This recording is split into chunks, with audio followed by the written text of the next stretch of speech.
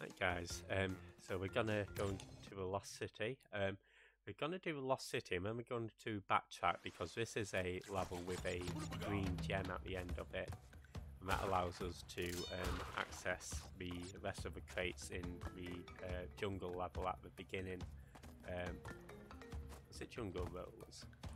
Um, so yeah, we do have to get through this level without uh, losing a life. Uh, if you lose in the bonus stages, that doesn't matter. It's only sort of in the main stage.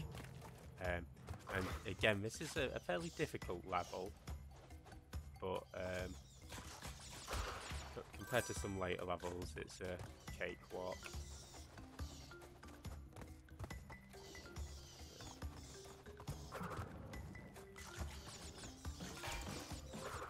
And yeah, so up there, what you want to do is hold the X button because there was an exclamation mark box that's hidden.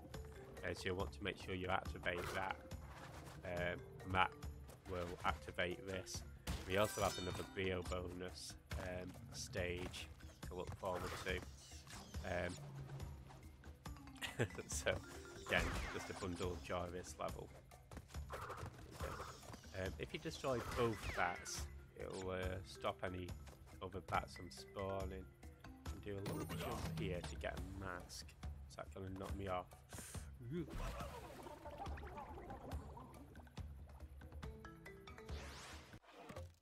Dope. Um, I, I, guess I'll keep this death in, maybe. Um, because it's only been a minute. And then, um, yeah, that that's the sort of first death that we've um, encountered in this game, I believe. Um, but yeah, I think in in future, um, especially for some of the more complicated levels, um, if I am sort of losing lives a lot, um, might just restart the level, um, restart the recording and, and keeping the recording where sort of successful the first time. Oh, yeah, it's uh, successful. Um, just to um, prevent having to rewatch. Um.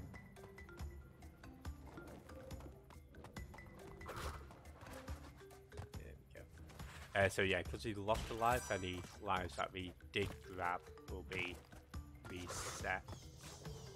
Um, so you noticed when I did lose a life, I did. Um, yeah, I wasn't going to bother with this mask, but there we go. So that's probably what I should have done actually. As soon as I got the mask, just go to the left, land on the platform. Uh, live and learn that. Uh, there isn't any exclamation mark box up there, but I always like jumping on it just to be certain. Uh, but just to clarify, that's just me being, uh, what's the word? okay, that is close, but yeah, you want to hop on top of there to get the N. Brio token. Again, we do need to get all of the tokens to get all of the boxes, um, so, not all the crates. And yeah, the reason I like having an extra mask in particular is for this pesky little crate. Okay, not too bad, but can be a little bit scary.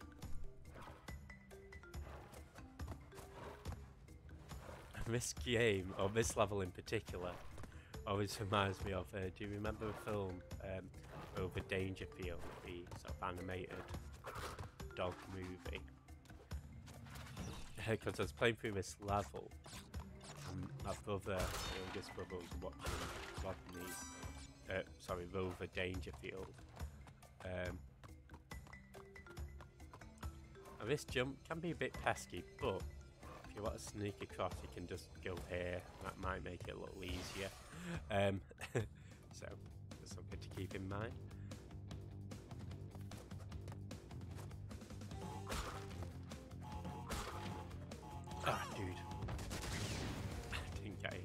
Of a bounce there. That's okay. Again, a little bit disappointing in that you actually end up losing a mask, uh, which is something that I would have liked to have kept if possible, but that's okay. Did it again. um,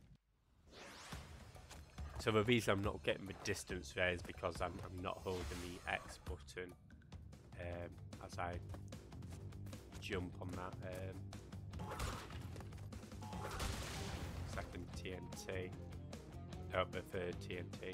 Um, the reason I, I failed then was because I span into the TNT, just in case you didn't notice. But you know, sometimes it's nice to show you guys how not to play. There we go.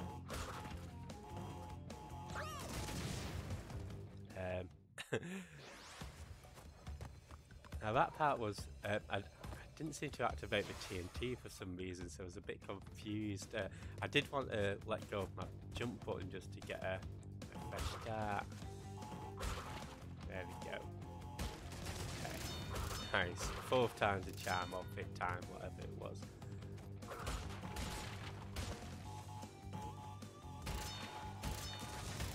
Nice. There we go. So um, yeah, took us a couple of uh, well, a few attempts, but uh, got a nice uh, few lives out of it. Um, yeah, I got rid of that dinosaur lizard thing there just so that I didn't have to um, deal with it after the bonus stage.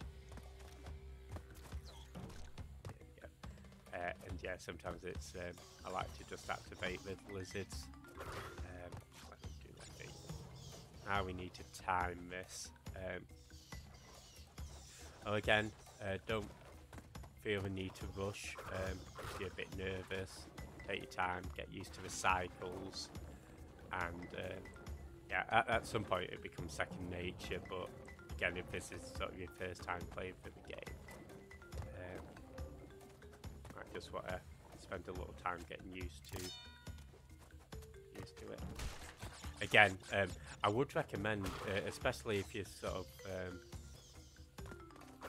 this is actually, if you're gonna get any gem, this is the level where I would recommend getting the gem. And there's a, a good reason for that when it comes to sort of the end game levels.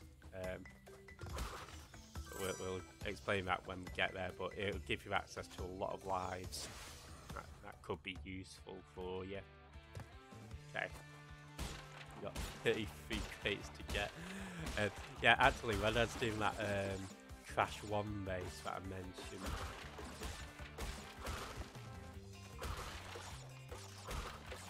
earlier.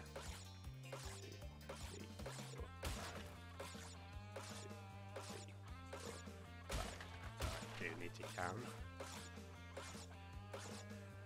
And yeah, when I was doing the Crash 1 base earlier, this is um, one level where I did make sure to get the gem. Um,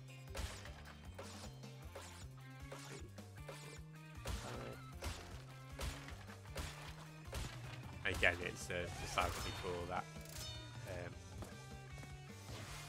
as it activates a little shortcut in a later level. Um, so I think it's worth uh, the time investment here. I'll make sure when you're standing on the sort of outer extremities of, of these platforms that you're just getting off them as soon as possible, get to a centre. Um, then, I don't know what's live up there, but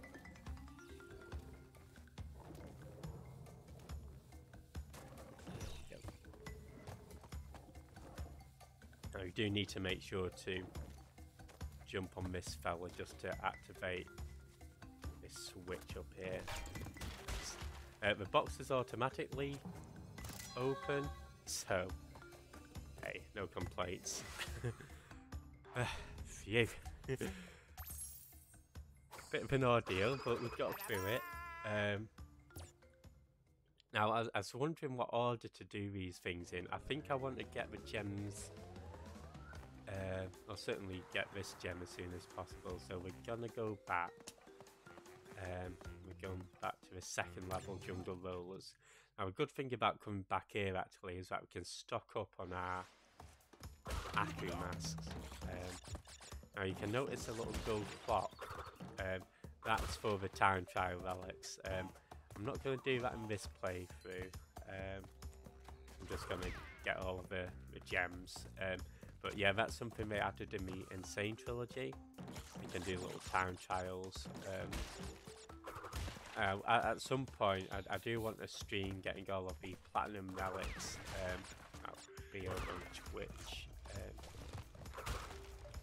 but that that'll be some point next year, I should imagine. But um, I'm happy to upload and edit the uh, VODs um, for these successful runs. Um, people are interested in, in seeing that, but just know it might be a year or so, so I'm just going to sneeze.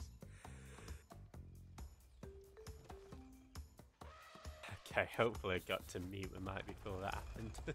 Apologies if I didn't. Uh, but yeah, here we can see a... Um, I was trying to suppress it for so long as well. Uh, yeah, so this gives us access to these bits. I think it might be possible to get up here without needing the gem, but I think for purposes of this playthrough, um, just do it sort of legit.